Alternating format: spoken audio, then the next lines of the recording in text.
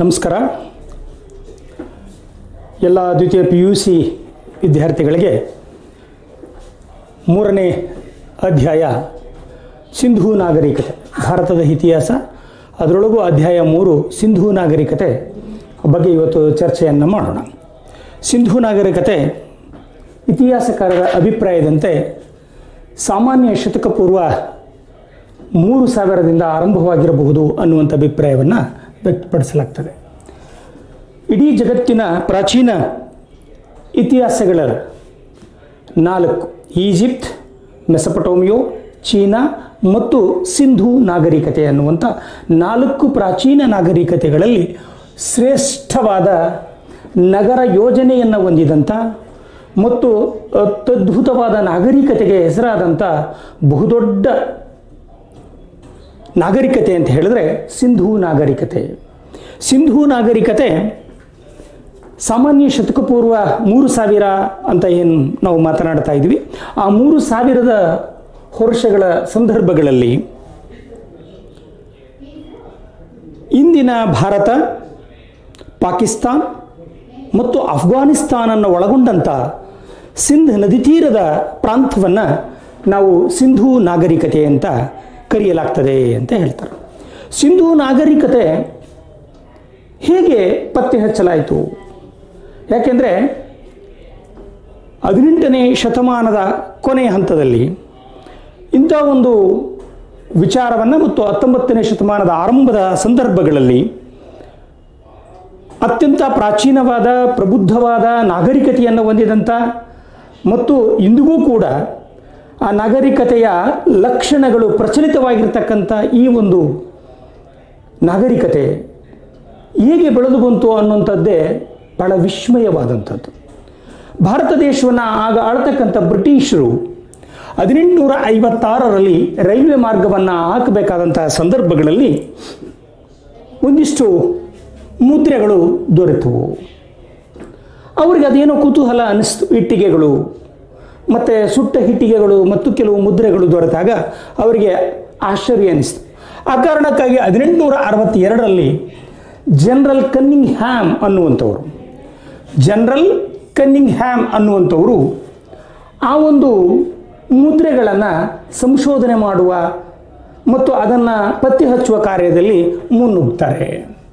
ತದನಂತರ ಹತ್ತೊಂಬತ್ತು ನೂರ ನಾಲ್ಕರಲ್ಲಿ ಭಾರತೀಯ ಪುರಾತತ್ವ ಇಲಾಖೆಯನ್ನು ಸ್ಥಾಪನೆ ಮಾಡಲಾಗ್ತದೆ. ಲಾರ್ಡ್ ಕರ್ಜನ್ ಅನ್ನುವಂಥವರು ಹತ್ತೊಂಬತ್ತು ನೂರ ನಾಲ್ಕರಲ್ಲಿ ಭಾರತೀಯ ಪುರಾತತ್ವ ಇಲಾಖೆ ಅನ್ನುವಂಥದ್ದನ್ನು ಪ್ರಾರಂಭ ಮಾಡಲಾಗ್ತದೆ ಲಾರ್ಡ್ ಕರ್ಜನ್.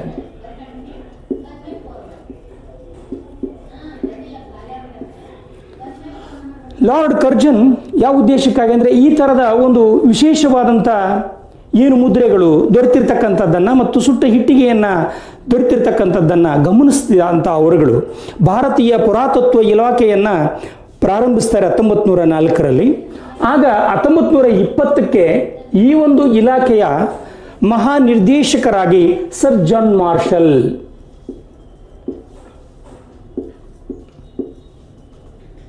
ಮಹಾನಿರ್ದೇಶಕರಾಗಿ ಸರ್ ಜಾನ್ ಮಾರ್ಷಲ್ ಅನ್ನುವಂಥವರು ನೇಮಕಗೊಳ್ತಾರೆ. ಆಗ ಈ ಸಂಶೋಧನೆಯ ಸಂಶೋಧನೆಯ ವ್ಯವಸ್ಥೆ ಅವನು ಆ ಮುದ್ರೆಗಳನ್ನು ಗಮನಿಸ್ತಾ ಇರತಕ್ಕಂಥ ಸಂದರ್ಭಗಳಲ್ಲಿ ಮಹಾನಿರ್ದೇಶಕರ ಒಂದು ತಂಡ ಏನು ಮಾಡುತ್ತೆ ಅಂತ ಹೇಳಿದ್ರೆ ಹತ್ತೊಂಬತ್ತು ನೂರ ಇಪ್ಪತ್ತೊಂದಕ್ಕೆ ಹರಪ್ಪ ಅನ್ನುವಂಥ ಒಂದು ಪ್ರದೇಶವನ್ನು ಪತ್ತೆ ಹಚ್ತಾರೆ ಸನ್ನಿವೇಶವನ್ನು.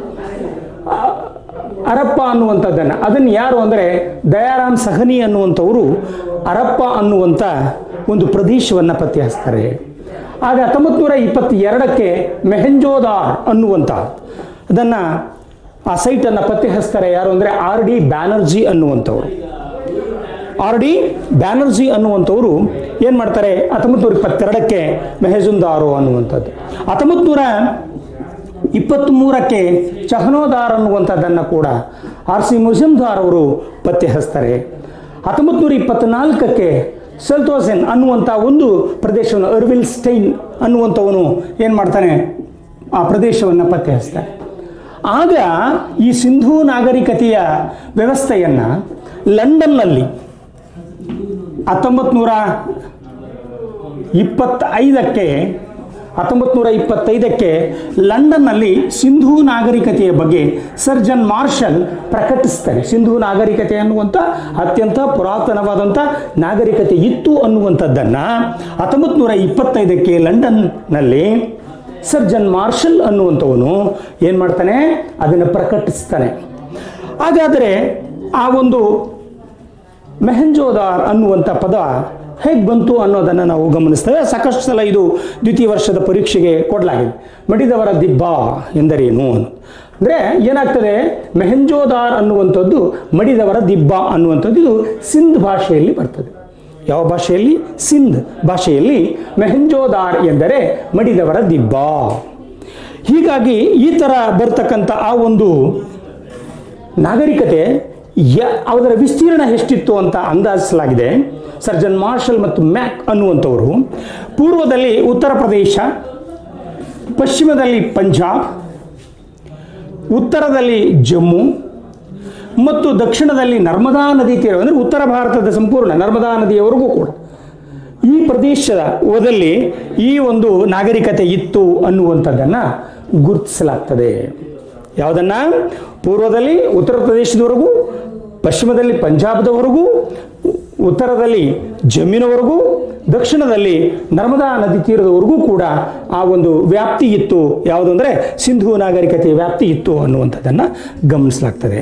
ಅಲ್ಲಿ ಯಾವ ಜನಾಂಗಗಳು ವಾಸವಾಗಿದ್ದರು ಅನ್ನುವಂಥದ್ದನ್ನು ಗಮನಿಸಿದರೆ, ಅಲ್ಲಿ ಅವರ ಒಂದು ತಲೆಬುರುಡೆಗಳನ್ನು ಮತ್ತು ಮೂಳೆಗಳನ್ನು ಮತ್ತು ಅಲ್ಲಿ ಸಿಕ್ಕಂಥ ಪಳುವಳಿಕೆಗಳನ್ನು ಆಧರಿಸಿ ಹೇಳೋದಾದರೆ, ಪ್ರೋಟೋ ಆಸ್ಟ್ರಲೈಡ್ ಅನ್ನುವಂಥ ಜನಾಂಗ, ಮೆಡಿಟೇರಿಯನ್ ಅನ್ನುವಂಥ ಜನಾಂಗ, ಮಂಗೋಲಿಯನ್ ಅನ್ನುವಂಥ ಮತ್ತು ಆಲ್ಫೈನ್ಸ್ ಅನ್ನುವಂಥ ಜನಾಂಗ ಇತ್ತು ಅನ್ನುವಂಥದ್ದನ್ನು ಇತ್ತು ಅನ್ನುವಂಥದ್ದನ್ನು ನಾವು ಗಮನಿಸ್ತೇವೆ. ತದನಂತರ ಅದರ ಪ್ರಮುಖ ಲಕ್ಷಣಗಳು. ಪ್ರಮುಖ ಲಕ್ಷಣಗಳು. ಮೊದಲನೇದು, ಯಾಕಂದರೆ ಇಡೀ ಜಗತ್ತಿನ ಪ್ರಾಚೀನ ನಾಗರಿಕತೆಗಳು, ಇವತ್ತಿಗೂ ಕೂಡ ಒಂದು ವ್ಯವಸ್ಥಿತವಾದ ನಗರ ಯೋಜನೆಯನ್ನು ರೂಪಿಸಿಕೊಳ್ಳಲಾರದಂಥ ಸ್ಥಿತಿಯಲ್ಲೂ ಕೂಡ ಏಕರೂಪದ ಏಕರೂಪದ ನಾಗರಿಕತೆಗೆ ಮತ್ತು ಒಂದೇ ತೆರನಾಗಿರ್ತಕ್ಕಂತೆ ಸುಟ್ಟ ಇಟ್ಟಿಗೆಗಳನ್ನು ಬಳಸಿರ್ತಕ್ಕಂಥದ್ದು ಮತ್ತು ಇಲ್ಲಿ ಕಟ್ಟಡ ಹೀಗೆ ಇರಬೇಕು ಅಂತ ಅದರ ಏನು ಬ್ಲೂ ಪ್ರಿಂಟ್ ಅಂತ ಕರಿತೀವಿ, ನೀಲಿ ನಕ್ಷೆ, ಅದು ಇಡೀ ಸಿಂಧೂ ನಾಗರಿಕತೆಯ ಪ್ರದೇಶದ ಜನರೆಲ್ಲರೂ ಕೂಡ ಒಂದೇ ತೆರನಾಗಿರ್ತಕ್ಕಂಥ ಕಟ್ಟಡದ ರೀತಿ ನೀತಿಗಳನ್ನು ಹೊಂದಿರತಕ್ಕಂಥ ಒಂದು ಮಾದರಿಯಾದಂಥ ಮತ್ತು ಜೀವಂತವಾದಂಥ ಒಂದು ನಾಗರಿಕತೆ ಅಂತ ಹೇಳಿದ್ರೆ ಸಿಂಧೂ ನಾಗರಿಕತೆ ಅಂತಕ್ಕಂಥದ್ದನ್ನು ಇತಿಹಾಸಕಾರರು ಅಭಿಪ್ರಾಯ ಪಡ್ತಾರೆ ಹೀಗಾಗಿ ಅದರ ಪ್ರಮುಖ ಲಕ್ಷಣಗಳನ್ನು ನಾವು ಗಮನಿಸೋದಾದರೆ, ಮೊದಲನೇದು ನಗರ ಯೋಜನೆ. ಈ ನಗರ ಯೋಜನೆ ಅನ್ನುವಂಥದ್ದು ವೈಜ್ಞಾನಿಕವಾಗಿ ಇಲ್ಲವರೆಗೂ ಕೂಡ ನಾವು ನೋಡಿ ನಂತರದ ಕಾಲಘಟ್ಟ ಆರ್ಯರು ಬಂದರೆ ಗ್ರಾಮೀಣ ವ್ಯವಸ್ಥೆ ಒಳಗೆ ಬರ್ತಕ್ಕಂಥದ್ದು. ಇದು ನಗರ ಯೋಜನೆ. ನಾಗರಿಕರು ಅನ್ನುವಂಥದ್ದು ಏನು ಕರಿತೀವಲ್ಲ ವೈಜ್ಞಾನಿಕವಾದಂಥ ಒಳಚರಂಡಿ ವ್ಯವಸ್ಥೆಯನ್ನು ಮಾಡಲಾಗಿದೆ. ಅದ್ಭುತವಾದಂಥ ಸುಟ್ಟ ಇಟ್ಟಿಗೆಯಿಂದ ಕಟ್ಟಿದ ಕಟ್ಟಡಗಳು ನಿರ್ಮಾಣವಾಗಿರ್ತಕ್ಕಂಥದ್ದು. ಮತ್ತು ಎಲ್ಲ ಇವತ್ತಿನ ಆಧುನಿಕ ವ್ಯವಸ್ಥೆಯೊಳಗೆ ನಾವು ಏನು ಕಂಡುಕೊಳ್ತಾ ಇದ್ದೀವಿ? ಒಂದು ಮನೆ, ಒಂದು ನಗರ, ಒಂದು ಪ್ರ, ಒಂದು ನಗರ ಪ್ರದೇಶ ಹೀಗಿರಬೇಕು ಅಂತ ಏನು ನಾವು ಇವತ್ತು ತೀರ್ಮಾನಿಸ್ಕೊಳ್ತಾ ಇದ್ದೀವಿ. ಅದಕ್ಕೆ ಕಡಿಮೆ ಇಲ್ಲದ ಮತ್ತು ಇದು ಅದಕ್ಕಿಂತಲೂ ಹೆಚ್ಚಾದಂಥ ಒಂದು ಅದ್ಭುತವಾದಂಥ ನಗರ ಯೋಜನೆಯನ್ನು ನಿರ್ಮಾಣ ಮಾಡಿದವರು ಸಿಂಧೂ ನಾಗರಿಕತ ಜನರು. ಹೀಗಾಗಿ ಅಲ್ಲಿ ಮೊದಲನೇದಾಗಿ ನಾವು ಗಮನಿಸೋದಾದರೆ ಬೀದಿಗಳು. ಬೀದಿಗಳು ಹೇಗಿತ್ತು ಅಂದರೆ ನೇರವಾಗಿ ಇರತಕ್ಕಂಥದ್ದಿತ್ತು ಮತ್ತು ಲಂಬವಾಗಿ ಇರುವಂಥದ್ದಿತ್ತು ಮತ್ತು ಆಯತಾಕಾರವಾಗಿ ಕಟ್ಟಾಗ್ತಾ ಇತ್ತು. ಆಮೇಲೆ ಅದರ ಆ ಒಂದು ಬೀದಿಯ ಉದ್ದ ಮತ್ತು ಅಗಲವನ್ನು ಗಮನಿಸಿದರೆ ಹದಿಮೂ ಹದಿಮೂರು ಅಡಿ ಅಗಲ. ಮತ್ತು ಮೂವತ್ತು ಹದಿಮೂರರಿಂದ ಮೂವತ್ತು ನಾಲ್ಕರವರೆಗೂ ಕೂಡ ಅಗಲವಾದ ವಿಸ್ತೀರ್ಣವನ್ನು ಹೊಂದಿರತಕ್ಕಂಥದ್ದು.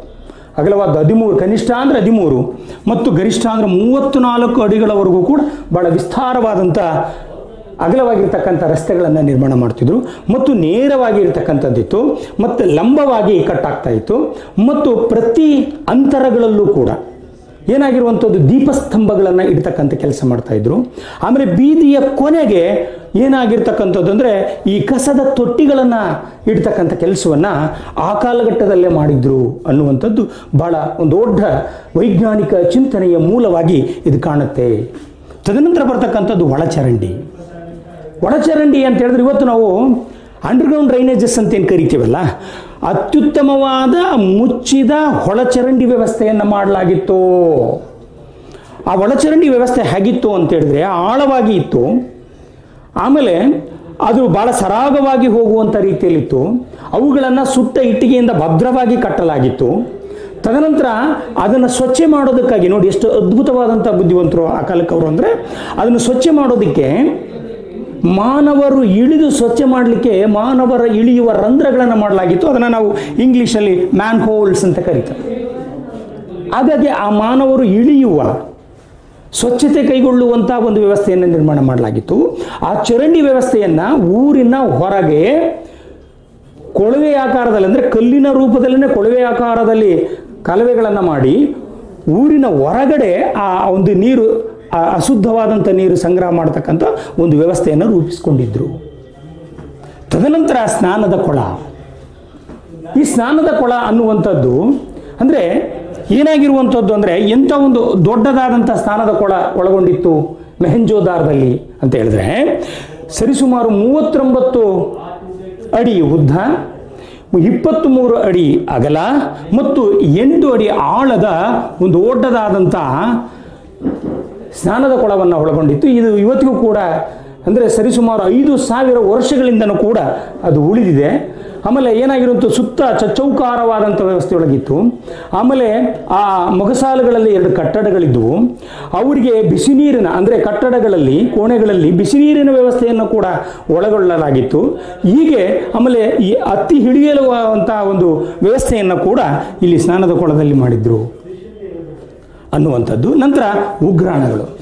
ಏನಾಗ್ತದೆ ಅಂತ ಹೇಳಿದ್ರೆ, ಹತ್ತಿ ಇಳಿಯೋದಕ್ಕೆ ಅವಕಾಶ ಇರತಕ್ಕಂಥ ಮತ್ತು ಕೆಲವು ಕೋಣೆಗಳಲ್ಲಿ ಬಿಸಿನೀರಿನ ವ್ಯವಸ್ಥೆ ಇತ್ತು. ನಾಲ್ಕು ದಿಕ್ಕುಗಳಲ್ಲಿ ಕೂಡ ಮೊಗಸಾಲುಗಳಲ್ಲಿ ಕೋಣೆಗಳನ್ನು ಮಾಡಲಾಗಿತ್ತು.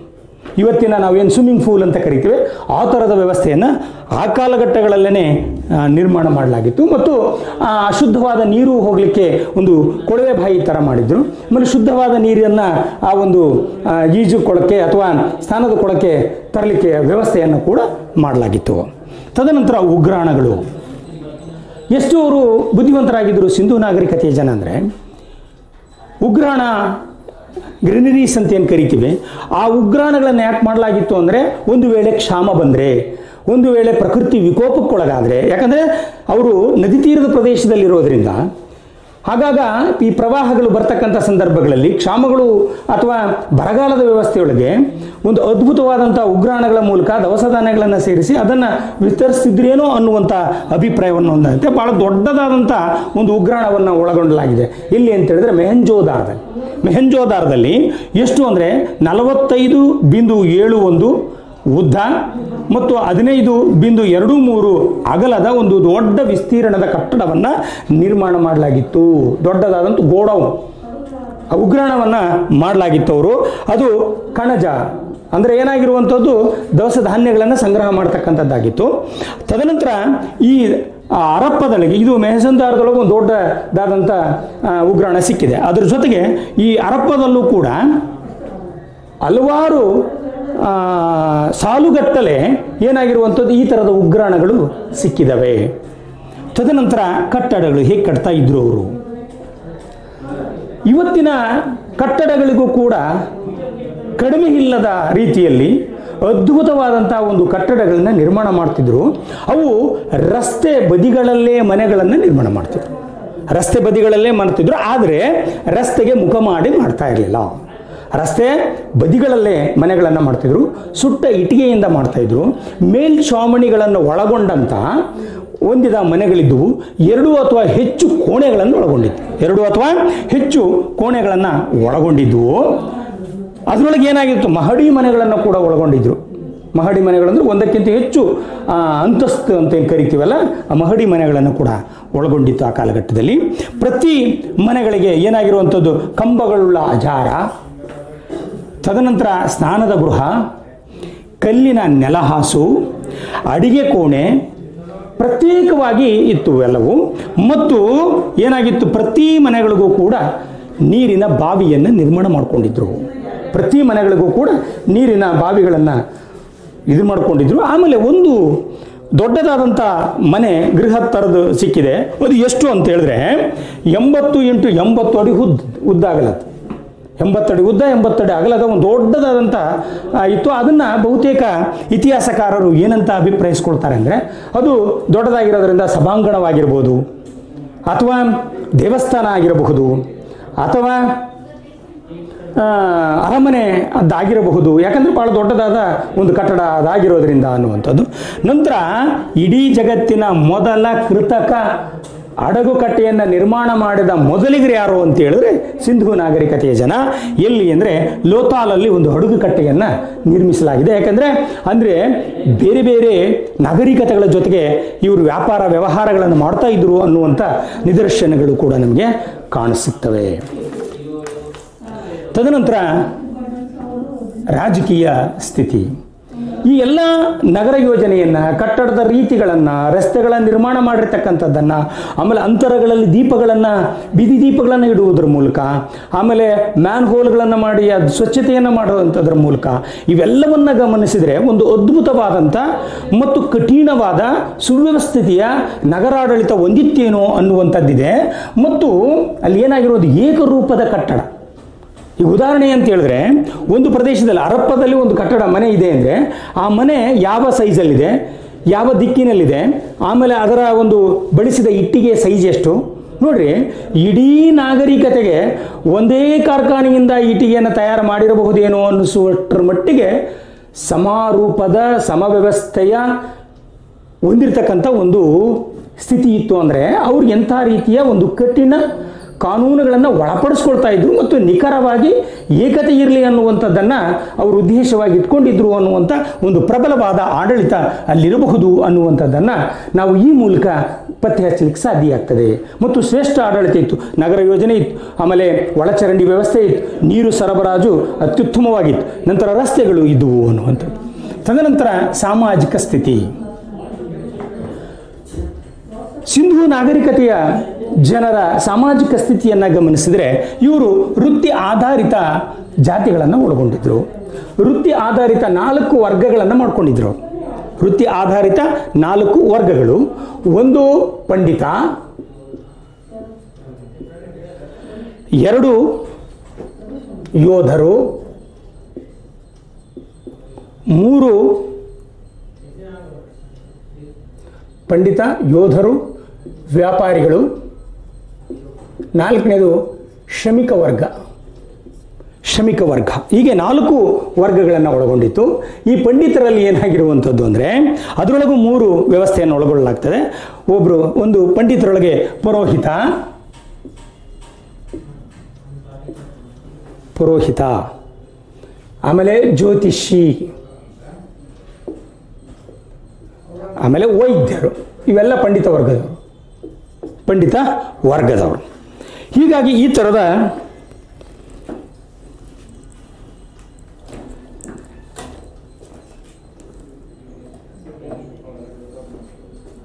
ಈ ಥರದ ವ್ಯವಸ್ಥೆಯನ್ನು ಒಳಗೊಳ್ಳಲಾಗಿತ್ತು ಇಲ್ಲಿ ಪ್ರಮುಖವಾದಂಥ ಬೆಳೆ ಗೋಧಿ.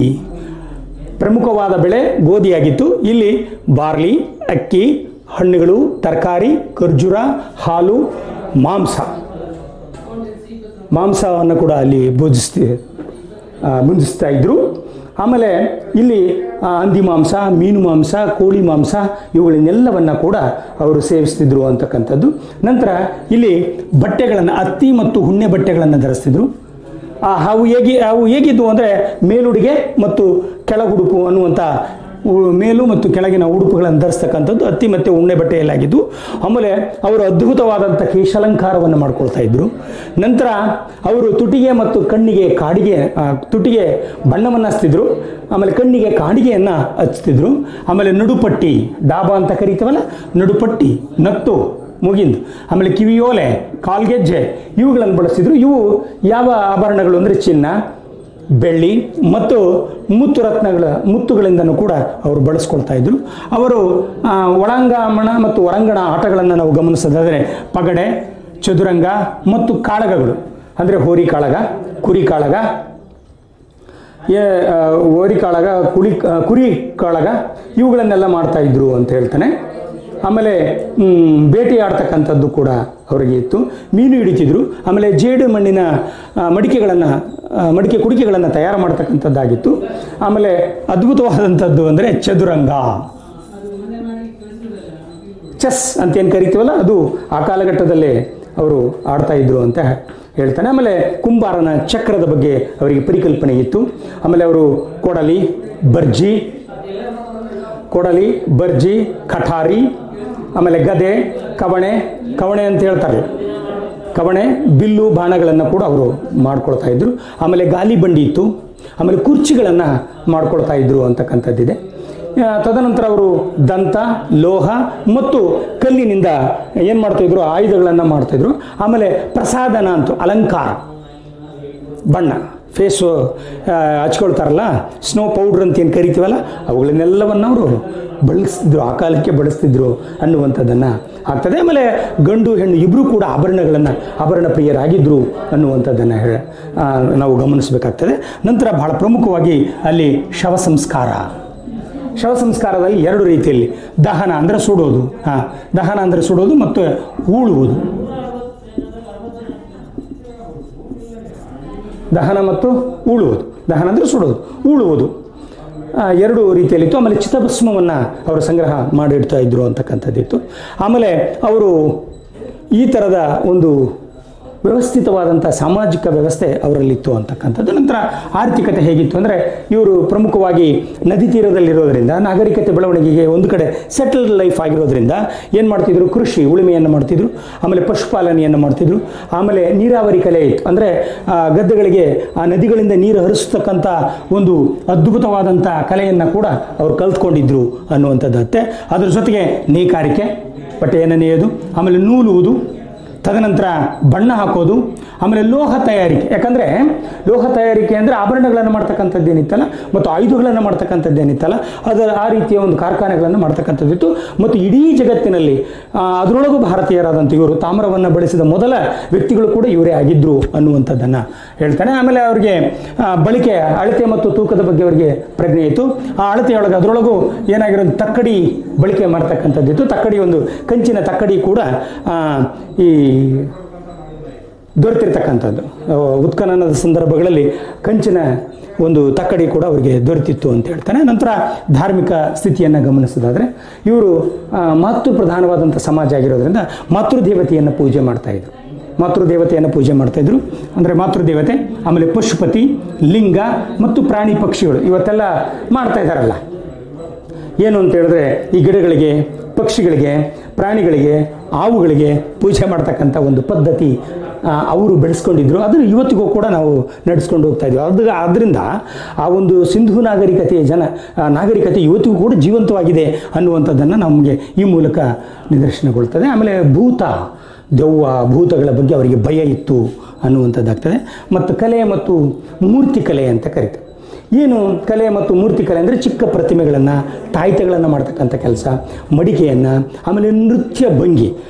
ದೊರೆತಿರ್ತಕ್ಕಂಥದ್ದಲ್ಲಿ ನೃತ್ಯ ಭಂಗಿ ಅಂದರೆ ಕಂಚಿನ ಒಂದು ನೃತ್ಯ ಭಂಗಿ ಇರ್ತಕ್ಕಂಥ ಒಂದು ಬಾಲಕಿಯ ಚಿತ್ರ ಅಂದರೆ ಬಾಲಕಿಯ ಒಂದು ಪ್ರತಿಮೆಯನ್ನು ಸಿಕ್ಕಿರ್ತಕ್ಕಂಥದ್ದು. ತದನಂತರ ಕಂಚಿನ ಮೂರ್ತಿ ಸಿಕ್ಕಿರ್ತಕ್ಕಂಥದ್ದು, ಆಮೇಲೆ ಪಶುಪತಿಯ ಚಿತ್ರ ಸಿಕ್ಕಿರ್ತಕ್ಕಂಥದ್ದು. ತದನಂತರ ಗಡ್ಡದ ಮನುಷ್ಯ. ಅಂದರೆ ಏನಾಗಿರುವಂಥದ್ದು? ಏನೋ ಒಂದು ಸಾಧು ಥರ ಇರತಕ್ಕಂಥ ವ್ಯವಸ್ಥೆಯನ್ನು ನಿರ್ಮಾಣ ಮಾಡಿರ್ತಕ್ಕಂಥದ್ದು, ಆ ಕಾಲಘಟ್ಟದಲ್ಲಿ ಇತ್ತು ಅಂತಕ್ಕಂಥದ್ದು. ನಂತರ ಮುದ್ರೆ ಮತ್ತು ಲಿಪಿಗಳು.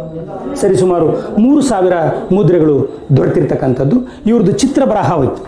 ಈ ಮುದ್ರೆ ಒಳಗೆ ಏನಾಗಿರುವಂಥದ್ದು? ಚಿತ್ರ ಬರಹ ಚಿತ್ರ ಬರಹವಾಗಿತ್ತು ಇದನ್ನು ಓದೋದು ತುಂಬ ಕಷ್ಟದಾಯಕವಾದದ್ದು. ಎಸ್ ಆರ್ ರಾವ್ ಅವರು ಕೆಲವು ನಾನು ಈ- ಒಂದು ಚಿತ್ರಲಿಪಿಯನ್ನು ಓದಿದ್ದೇನೆ ಅನ್ನುವಂಥದ್ದನ್ನು ಕೂಡ ಅವರು ತಮ್ಮ ಇದರೊಳಗೆ ಮಾಹಿತಿಯನ್ನು ಇತಿಹಾಸಕಾರರು ನಮಗೆ ಇದು ಮಾಡ್ತಾರೆ. ಆಮೇಲೆ ಇವರ ಬರವಣಿಗೆ ಬಲದಿಂದ ಎಡಕ್ಕೆ, ಒಂದನೇ ಸಾಲು, ಎರಡನೇ ಸಾಲು ಎಡದಿಂದ ಬಲಕ್ಕೆ ಬರೀತಕ್ಕಂಥ ಒಂದು ಪದ್ಧತಿಯನ್ನು ಬೆಳೆಸ್ಕೊಂಡಿದ್ರು. ತದನಂತರ ಕೊನೆಯದಾಗಿ ಏನಾಗಿರುವಂಥದ್ದು, ಈ ಇಂಥ ಒಂದು ಅದ್ಭುತವಾದಂಥ ನಾಗರಿಕತೆ ಹೇಗೆ ಅಂತ್ಯ, ಹೇಗೆ ಅಂತ್ಯವಾಯಿತು, ಕೊನೆಗೊಳಿತು ಅಂತ ನಾವು ಗಮನಿಸೋದಾದರೆ ಬಹುತೇಕ ಇದು ನದಿ ತೀರದ ಪಕ್ಕದಲ್ಲಿರೋದ್ರಿಂದ ಪ್ರವಾಹದಿಂದ ನಶಿಸಿ ಹೋಗಿರ್ಬೋದು ಅನ್ನುವಂಥದ್ದು ಹೇಳ್ತಾರೆ. ತದನಂತರ ಸಾಂಕ್ರಾಮಿಕ ರೋಗಗಳಿಂದನೂ ಕೂಡ ಹೋಗಿರ್ಬೋದು ಅಂತ ಆಮೇಲೆ ಮಣ್ಣಿನ ಸವಕಳಿಯ ಮೂಲಕ ಕೂಡ ಬಹುತೇಕ ಇದು ನಾಶ, ನಾಶವಾಗಿರಬಹುದು ಅನ್ನುವಂಥದ್ದಿದೆ. ಆಮೇಲೆ ಬೇ ವಿದೇಶಿಯರ ದಾಳಿಗಳಿಂದನೂ ಕೂಡ ಈ ನಾಗರಿಕತೆ ನಾಶ ಹೊಂದಿರ್ಬೋದು ಅಂತ. ಆಮೇಲೆ ಇನ್ನೂ ಒಂದು ಮಾತು ಹೇಳ್ತಾರೆ, ಆರ್ಯರ ದಾಳಿಯಿಂದನೂ ಕೂಡ ನಾಶವಾಗಿರ್ಬೋದು ಅಂತ. ಅದಕ್ಕೆ ನಿಖರವಾದಂಥ ಮಾಹಿತಿ ಇಲ್ಲ ಅಂತ. ಯಾಕಂದರೆ ಇದಕ್ಕೆ ಮತ್ತು ಅವರ ಆರಂಭದ ಕಾಲಘಟ್ಟಕ್ಕೆ ಸರಿಸುಮಾರು ಇತಿಹಾಸಕಾರರ ಅಭಿಪ್ರಾಯದೊಳಗೆ ಮುನ್ನೂರೈವತ್ತು, ನಾನ್ನೂರು ವರ್ಷಗಳ ಡಿಫ್ರೆನ್ಸ್ ಇರೋದ್ರಿಂದ ಇರಲಿಕ್ಕಿಲ್ಲ ಅನ್ನುವಂಥ ಅಭಿಪ್ರಾಯಗಳು ಕೂಡ ಇದು ಇತಿಹಾಸಕಾರರು ವ್ಯಕ್ತಪಡಿಸ್ತಾರೆ. ಹೀಗಾಗಿ ಇಷ್ಟು ಏನಾಗಿರುವಂಥದ್ದು ಸಿಂಧು ನಾಗರಿಕತೆಯ ವಿಚಾರವಾಗಿ ಇಲ್ಲಿವರೆಗೂ ಕೂಡ ನಾನು ನಿಮಗೆ ತರಗತಿಯನ್ನು ಮಾಡಿದ್ದೀನಿ ಅಂತ ಬಯಸ್ತೇನೆ. ತಮ್ಮೆಲ್ಲರಿಗೂ ಕೂಡ ನಮಸ್ಕಾರವನ್ನು ಹೇಳ್ತಾ ಈ ದಿನದ ಅಧ್ಯಾಯವನ್ನು ನಾನು ಪೂರ್ಣಗೊಳಿಸ್ತೇನೆ. ನಮಸ್ಕಾರ.